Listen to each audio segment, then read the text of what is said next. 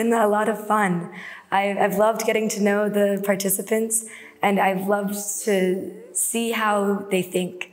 I think that watching a different culture and how different people work together and get along is a really important part of cultural exchange. And I have appreciated learning from them different things that I plan to take back to my own work at home.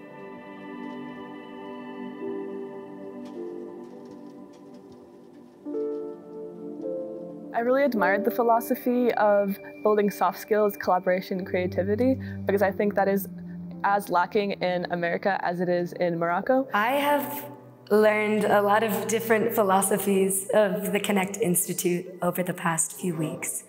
One of the most important one that stood out to me was the different ways that students come to decisions together. Morocco is a country with, with basically limitless potential. One of the main messages of the Connect Institute is, is how can we reshape the educational system of Morocco so that the youths and the young professionals look inwards.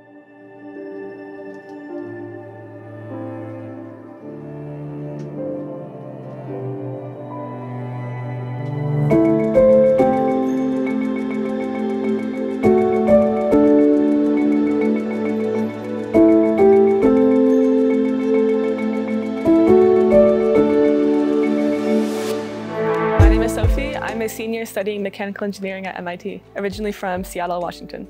My name is Peter. Um, I am a PhD student at the Massachusetts Institute of Technology. Hi, my name is Catherine, and I am currently a master's student at MIT studying computer science. I'm Anna Duncan, and I am a second year student at MIT in Boston. So the installation is called Tomorrow, and specifically it's about the future of knowledge and how Moroccan youth view the opportunities and challenges associated with that. Our installation is going to be an interactive map of the Mediterranean Sea, featuring historical hotspots of innovation and knowledge sharing.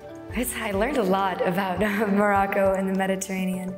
I learned about the history Morocco has of knowledge and the history that they have of both being a center of knowledge and providing knowledge to the rest of the world. I quickly learned that Moroccans are taught at a very young age a bunch of different languages, whether it's Amazigh, Arabic, French, English. And also depending on where you live, some people also know Spanish. And so it's just crazy that everyone can speak so many languages and that's definitely a useful skill. But not having a universal language in Morocco makes it really hard for everyone to communicate and share knowledge effectively. Another philosophy of Connect that I appreciate is not only talking about what you want to display, but what it means.